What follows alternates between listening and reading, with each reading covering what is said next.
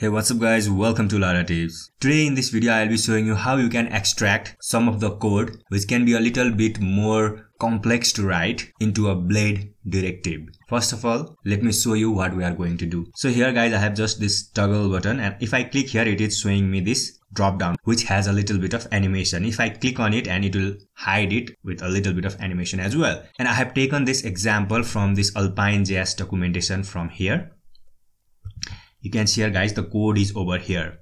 And let's say if you want to do this kind of animation again in other part of your project then you just don't want to write all these things again and again. So now let me show you a trick how you can do that using blade directive. So guys if you see here in the documentation extending blade.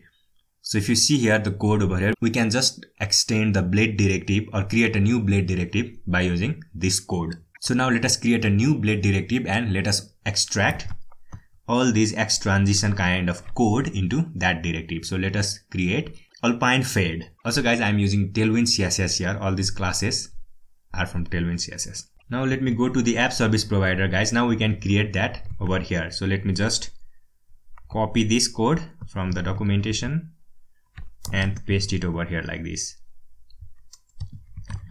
And we don't want any parameters, okay? We'll just remove this and here we'll return this as a string. Since it is only a string, we can echo it over here using PHP and it will work the same way. So let me copy this and let me paste it over here. So like this. So let me multi-select them and let me add them to the same line like this and separate each of them with a single space over here. Now I can just assign it to a variable by making it a single string. So let's say here str and now guys we have to just return it. Okay from here. Also let me give semicolon over here. And we want to return dollar str from here. And since it is a string we need to wrap it within quote.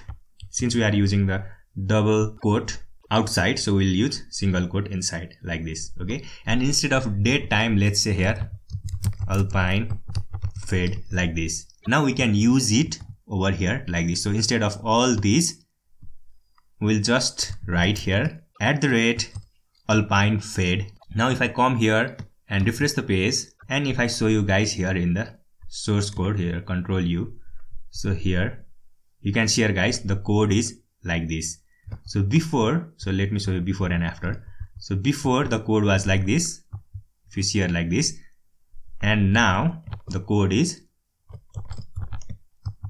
like this all of them were in a separate line but just the difference is that they are on the same line but the code is same over here okay?